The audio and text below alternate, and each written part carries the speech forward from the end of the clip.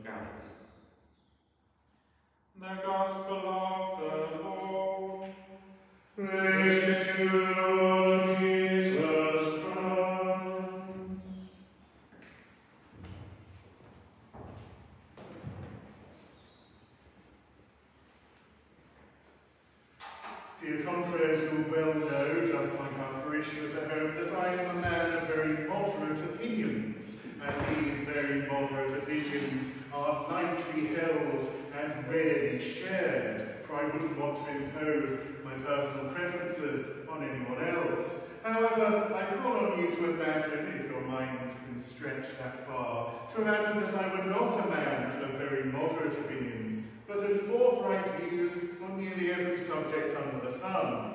And I shared these opinions whether I was asked to, or more likely, not asked to. Imagine further, and indeed much more seriously, that these opinions were not just shared over breakfast or in the calefactory, but that they replaced the teaching of Christ in my preaching, or when I was teaching in the name of Christ. I would have ceased to act as a priest of Jesus Christ and simply become a self-publicist. And we hear this in our first reading today about such a one. The prophet who presumes to speak a word in my name, which I have not commanded him to speak, or who speaks in the name of other gods, that prophet shall die. For it would be he who gave his children stones when they asked for bread, and scorpions instead of eggs. This applies particularly, but not exclusively, to clerics, deacons, priests, and bishops, who are given the authority by the church to share in different ways in the teaching, sanctifying, and governing offices of Christ in his church. Priests and bishops in particular stand in persona Christi capitis, which is to say in the person of Christ the head. The authority we are given is not to do as we please, to teach as to preach as we please, but it is the authority that Christ himself has entrusted to the church. And in the gospel that we heard today, when Christ taught in the synagogue, they were astonished at his teaching, for he taught them as one who had authority and not as the scribes. Note that this is said even before our Lord works the miracle and exorcises the man that had an evil spirit. Even before that, his words have power and authority. That is because they are God's words, not human words. They have power and authority, and a power and authority not like their former leaders, the scribes, because these words are from God. This, dear brothers, is the authority of the truth. As when a priest absolves from sins in the confessional, that has power and effect because it comes from God. We, you rather, may not care whether the priest forgives your sins, but you do care if God forgives your sins. And so God forgives you through the priest. The power and authority to teach, to sanctify, and to govern the faithful was entrusted by Almighty God to the church, not to any one individual, not even to any one individual within the church, to the exclusion of all others. A human being, whoever he may be, has no more power to change the truth than I do to fly to the moon. Quarantine restrictions pending, of course. Bishops, priests, and deacons, religious and the lay faithful, we are all servants of Christ and servants of the truth. In fact, dear brothers, we are servants of Christ only insofar as we are servants of the truth. Those who would take to themselves the power and authority, would that there were such a thing, to change the truth, who would presume to say in God's name something that he has not commanded to be said, he has bought and paid for his damnation. He shall die not just once, not just the death that we all will face, but an eternal death. It is the truth, dear brothers, that will set us free. Preaching, teaching, and serving the truth as we do in our various ways, and indeed as all the Christian faithful do, makes demands on us. But it is the only hope that we have of salvation. The truth is not only our life, the truth is that which gives our life its lightness, that allows us to function in the world, that allows us to have hope. How much would we have to despise a person, someone bearing the image and likeness of God, to offer them an easy lie rather than a hard truth? And if we did such a thing, who would our Father be? God, who said, I am the way, the truth, and the life, or rather Satan, the father of lies. Confusion, half-truths, and lies masquerading as kindness are all tools of the evil one, whereas clarity, honesty, and love are gifts from Almighty God. To conclude, I'd like to illustrate this point, the difference between a life lived in truth and a life lived in lies, with the tale of the death of two of the monarchs of England, Henry VIII his daughter, Queen Mary I. There are many stories surrounding the death of Henry VIII, a monstrous and grotesque heretic and mass murderer. Some said in his final moments that he was haunted by horrible and terrible visions of some of the figures that the, of figures of some of those that he had, had killed. He saw black robed and hooded figures in the corner of his room, and his final words was a shout, a cry of monks, monks, monks. A contemporary work noted also that in 1532 a Franciscan friar had preached in front of the king and his second wife that he would suffer the same fate as King Ahab, husband of Jezebel, and that dogs would lick his blood. Suffice it to say, without going into too many details at this hour, that this may well have happened when the king's body lay in Syon Abbey, which he had previously ordered to be plundered. Queen Mary, however, who suffered many terrible ailments in her life and had very painful times towards her end, she was told that she was going to die in November 1558, and on November the 17th, she attended Holy Mass at 4 o'clock in the morning and was then taken to her bed. She is recorded by her maidservants to have had joyous dreams of hearing children dancing around her bed and angels singing her to sleep. She died so peacefully that her maidservants did not know for some hours that she had passed. They thought rather that she had recovered and was going to be well again.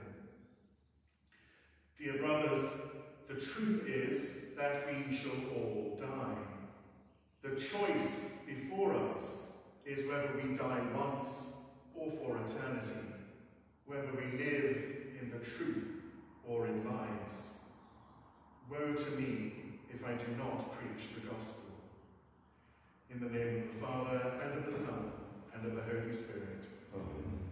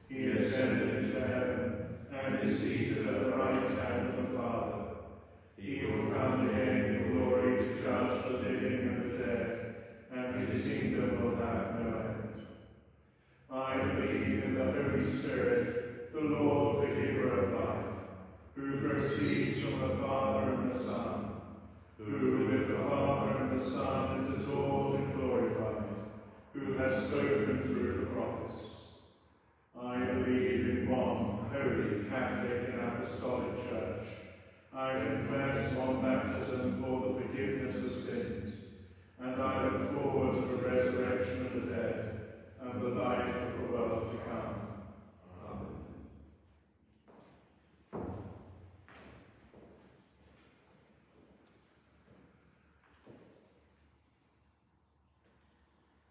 Dear brothers and sisters, gathered as one to celebrate the good things we have received from our God, let us ask him to prompt us in prayer that we are worthy of his hearing.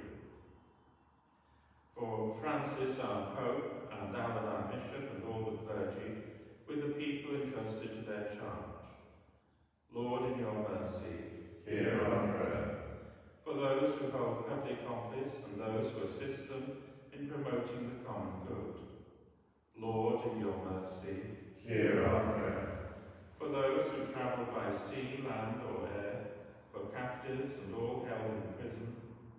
Lord, in your mercy, Hear our prayer. For all of us gathered in this sacred place by faith and devotion, and by love and reverence for God. Lord, in your mercy, Hear our prayer. for the elderly who suffer from isolation or sickness, that they may be strengthened by our love of them as brothers and sisters. Lord, in your mercy, Hear our prayer. and we pray for all who have died this week and for all whose anniversaries occur this time. May they rest in peace. Lord, in your mercy, Hear our prayer. we now turn to Our Lady and present our prayers to her. Hail Mary, full of grace,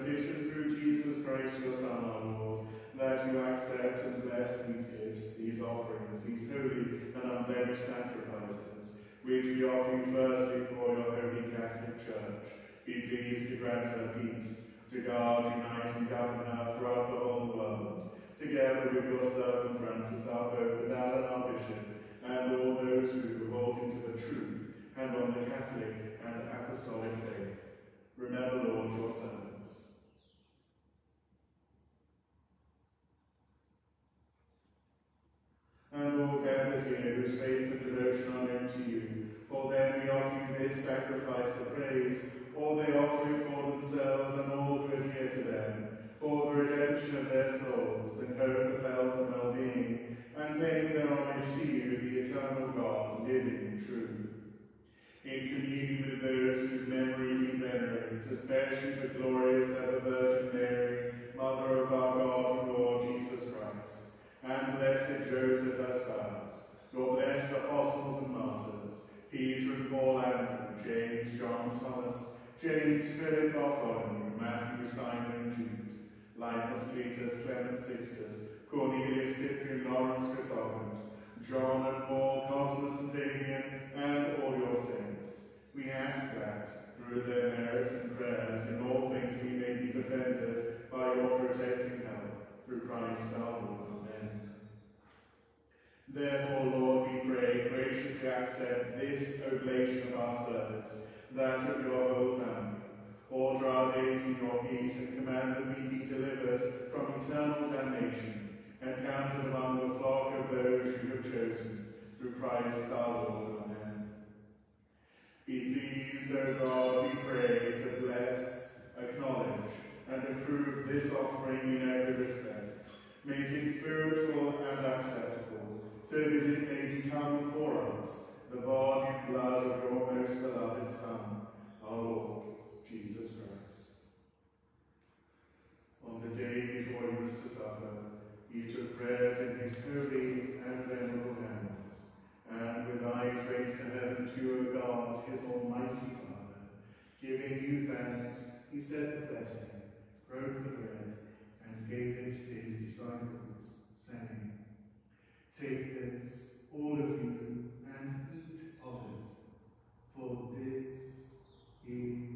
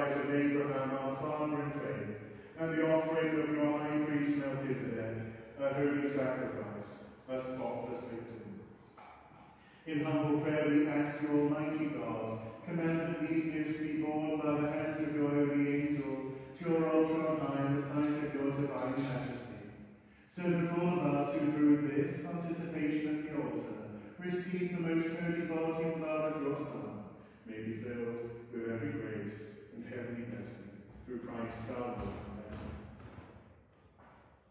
Remember also, Lord, your servants who have gone before us with the sign of faith and rest in the sleep of peace.